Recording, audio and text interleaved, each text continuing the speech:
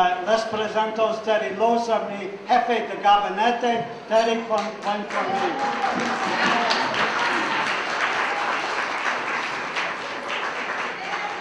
Esta noche celebramos la histórica inauguración del primer presidente afroamericano de Estados Unidos, Barack Obama.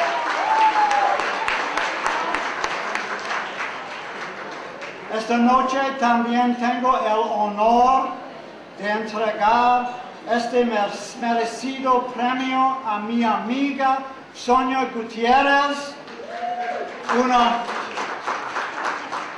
una gran defensora de los derechos de los inmigrantes en Estados Unidos por más de 36 años.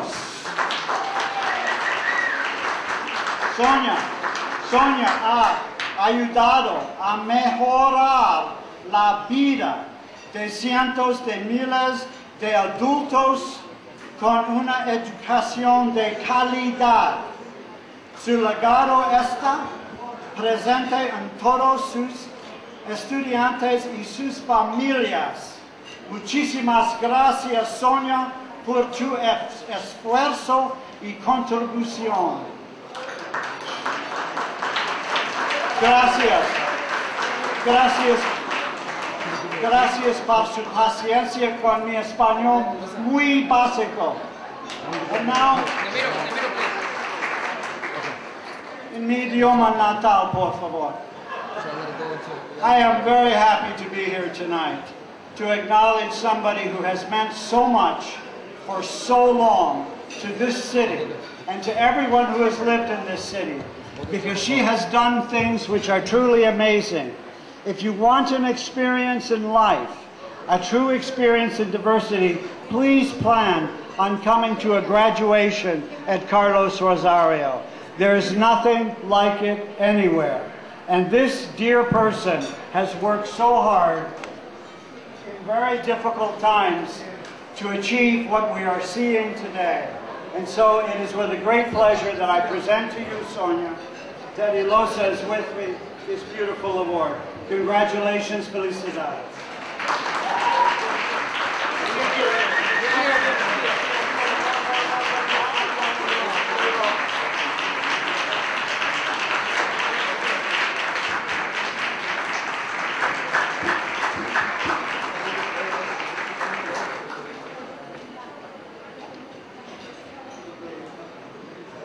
Thank you, Jim. Thank you to the DC Latino in Inaugural Committee.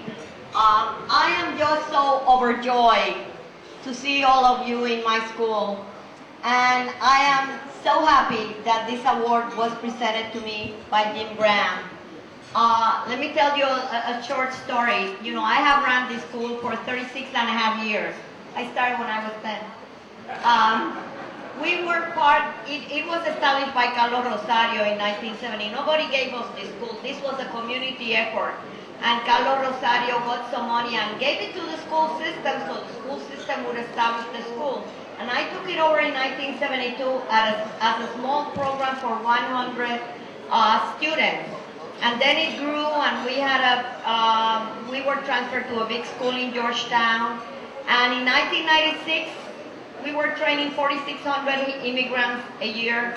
Uh, 80% have always been Latino, and because of the budget cut in the city, we were really having serious financial problems like we're today.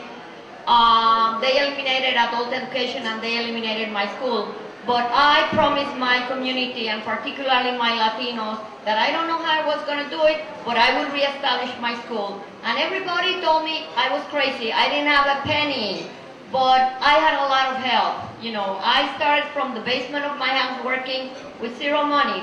But I have the help of people like Jim Graham that thanks to him, we have this building. If it weren't for Jim, we wouldn't be celebrating this uh, the inauguration of, Bar- uh, of Obama in this building today. So, Jim, where are you? You're my dear friend. You're my hero. I love you. And, and, and, and he's so been always so supportive. And I'm also so very glad that I have here Um, we're accompanied by the chairman of the city council,